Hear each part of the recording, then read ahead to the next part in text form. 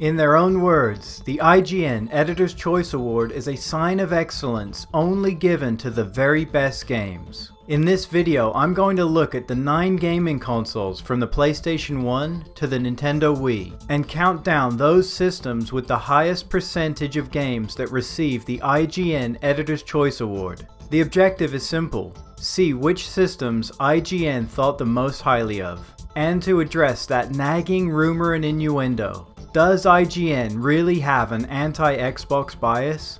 Do they favor Sony? Nintendo? It's time to find out.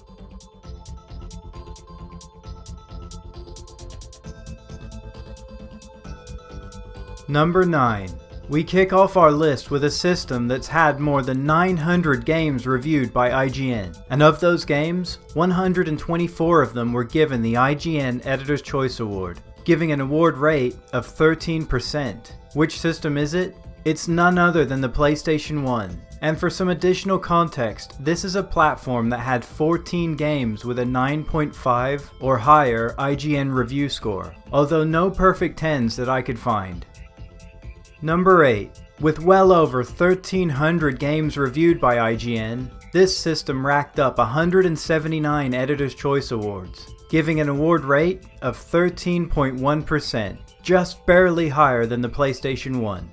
It's the Nintendo Wii, a system famous for its high volume of so-called shovelware, and this position on the rankings somewhat confirms that. Now the Wii did have 20 games with a 9.5 score or higher, and 4 games that achieved perfect 10s from IGN, but I must point out that IGN tended to review older Nintendo games again on the Wii, and so this number may be wildly exaggerated. In fact, I'm almost certain that it is. Number 7. IGN reviewed a total of 302 games on this system, and ultimately gave out 42 Editor's Choice Awards, a rate of nearly 14%. It's the system that me and my friends probably played more than any other as teenagers. The Nintendo 64. The 64 managed 10 games with a 9.5 or higher from IGN, including one perfect 10, the epic Legend of Zelda Ocarina of Time, a game for which I ditched many classes to play. Number 6. We're going to make a relatively big jump in award rates now. This is a legendary system that IGN reviewed a total of nearly 1700 games for, and of those games, they awarded over 300 of them the Editor's Choice Award. With an award rate of nearly 19%, it's the PlayStation 2 a system that had a massive 35 games with scores at or above a 9.5 from IGN. Without a doubt, it's one of the biggest and most important systems of modern gaming.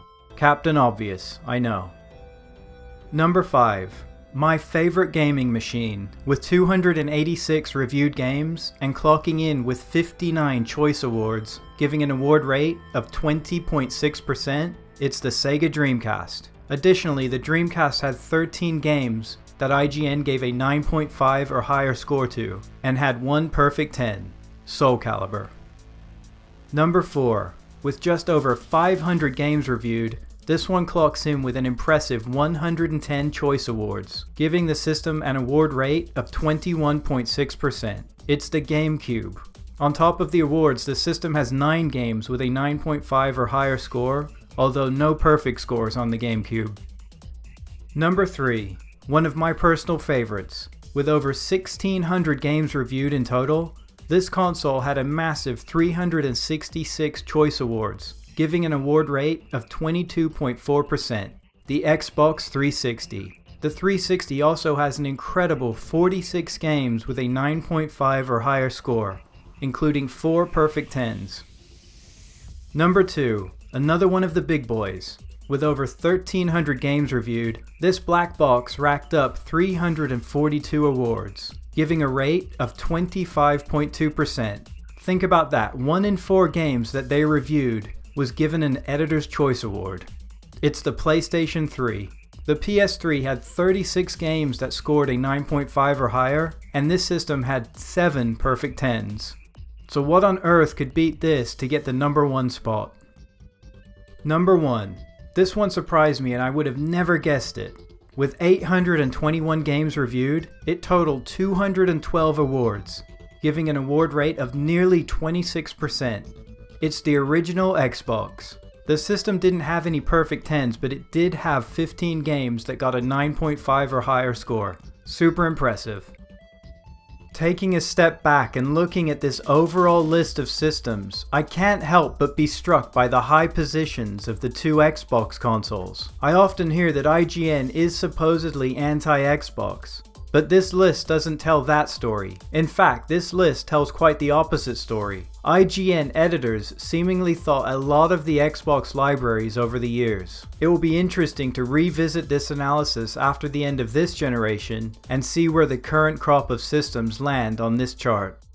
That does it for me once again. Thank you very much for watching. And if you're interested in the Xbox, I am working on a big original Xbox video that should be out sooner than later. And in the meantime, I'll have some shorter videos to keep the channel nice and fresh. So please like, subscribe, comment, every little thing helps and every little thing is appreciated. Until next time, all the best and the sky's the limit.